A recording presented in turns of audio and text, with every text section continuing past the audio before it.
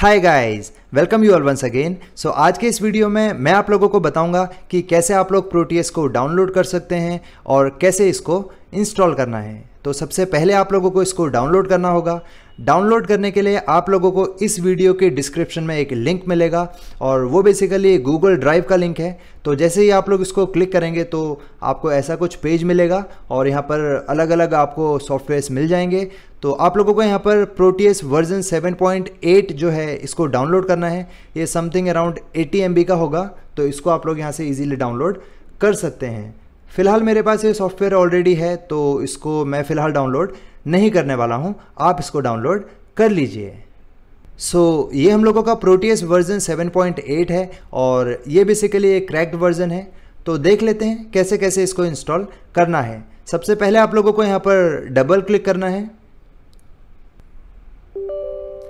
Double click करते ही आप लोगों को यूज़र अकाउंट कंट्रोल का ये एक नोटिफिकेशन आ सकता है। तो यहाँ से आप लोगों ने येस क्लिक करना है। इसके बाद आप लोगों को यहाँ पर प्रोटीए सेवन की तरफ़ से एक वेलकम नोट आएगा। तो इसको आपको सिंपली यहाँ से नेक्स्ट क्लिक करना है। फिर यहाँ से आप लोग इसको आई एग्री करेंगे। इसके बाद नेक्स्ट आपको प्रेस करना है। नेक्स्ट इसके बाद आप लोग यहाँ पर अपना कुछ भी नाम दे सकते हैं। आपको अपना नाम देना है कंपनी का नाम देना है। तो ये कुछ भी आप दे सकते हैं। फिर इसके बाद आप लोग यहाँ से नेक्स्ट क्लिक करेंगे।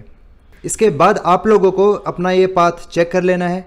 ये फ़िलहाल मेरा सी ड्राइव में program files x eight six lab center electronics के अंदर इंस्टॉल हो रहा है। तो आप लोग इस पाथ को थोड़ा सा ध्यान दीजिएगा। इसके बाद आप लोगों को यहाँ से अगेन नेक्स्ट प्रेस करना है। फिर इसके बाद आप लोग यहाँ पर चाहें तो शॉर्टकट क्रिएट कर सकते हैं। तो ये आपके ऊपर है। फिर इसके बाद अगेन आप लोगों को यहाँ पर नेक्स्ट प्रेस करना है। और अगेन नेक्स्ट आप प्रेस करेंगे। तो ये आप लोगों का यहाँ पर इंस्टॉलेशन स्टार्ट हो चुका है। फ़िलहाल थोड़ा सा ये टाइम लेगा।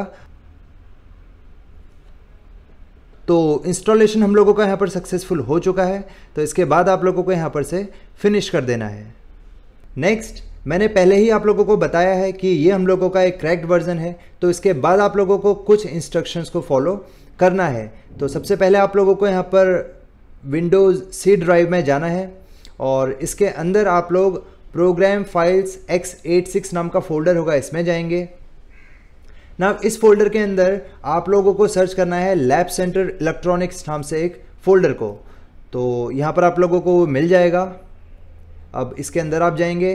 इसके अंदर आप लोगों को प्रोटीएस सेवन प्रोफेशनल नाम से एक फ़ोल्डर मिलेगा। अगेन आप इसके अंदर जाएँगे। इसके अंदर आप लोगों को बिन नाम से एक फ़ोल्डर मिलेगा। इसको आप क्लिक करेंगे। तो इसके अंदर जाने के बाद आप लोग यहाँ पर देख पाएँगे, हम लोगों का आई नाम से एक फ़ाइल है। ये बेसिकली आप लोगों की एप्लीकेशन फ़ाइल होगी। तो यहाँ से आप लोगों को इसको राइट क्लिक करना है और उसके बाद इसको सेंड टू डेस्कटॉप आप कर देंगे। इसके बाद हम लोग इसको यहाँ से क्लोज कर सकते हैं।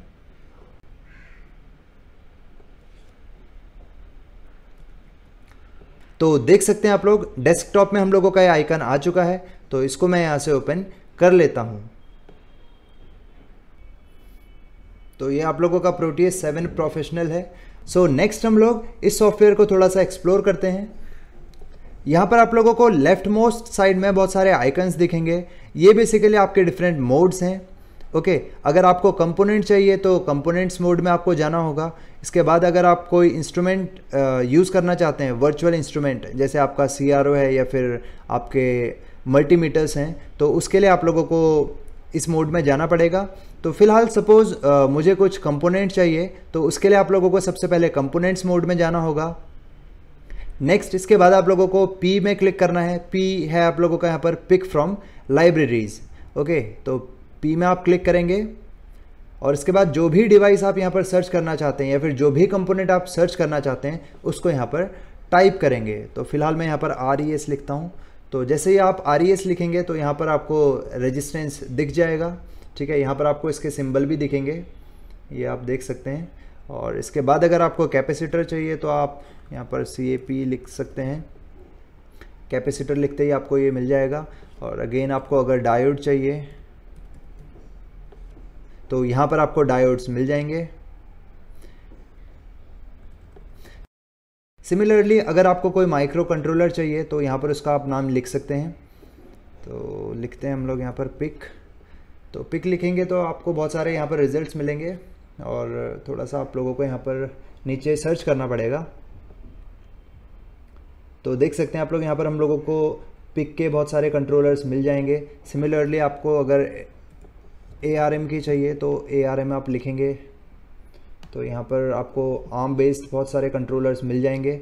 सिमिलरली 8051 अगर आप लिखते हैं तो 8051 के कंट्रोलर्स भी आपको मिल जाएँगे। ओके? ये आप लोगों के 8051 कंट्रोलर्स हैं।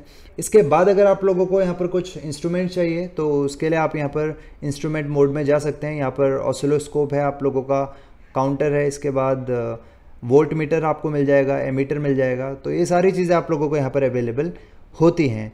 तो इस सॉफ्टवेयर में आपको 8051 AVR पिक और ARM बेस्ड बहुत सारे कंट्रोलर्स मिल जाएँगे। बट इनिशियली हम लोगों को यहाँ पर ऑडियोनो की ज़रूरत है तो ऑडियोनो आपको इनबिल्ट इसमें नहीं मिलता है। तो हम लोगों को एक्सटर्नली उसकी लाइब्रेरी को डाउनलोड करना पड़ेगा और अपने प्रोटीएस की लाइब्रेरी में ऐड करना पड़ेगा। तो ये चीज़ हम लोग नेक्स्ट वीडियो में देखेंगे। सो बने रहिएगा आप लोग मेरे साथ। बने रहने के लिए चैनल को सब्सक्राइब ज़रूर करें। So thank you so much for watching Jai Hind, Jai Bharat.